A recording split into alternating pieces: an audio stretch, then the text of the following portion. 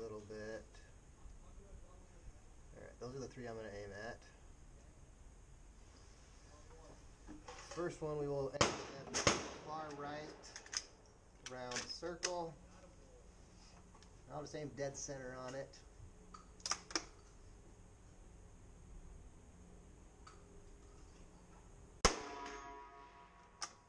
This is shooting a little to the right with this ammo.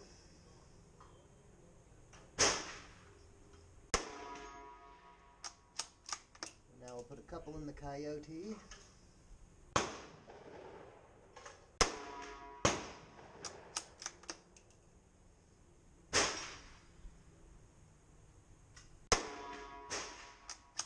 can see the squirrel is out there swinging in the wind. Try to hit him.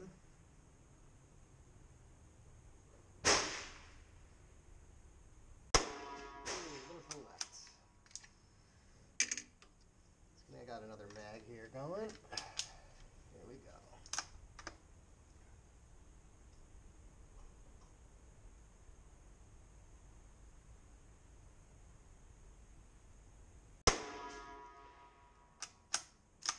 Got him. Let's hit him again.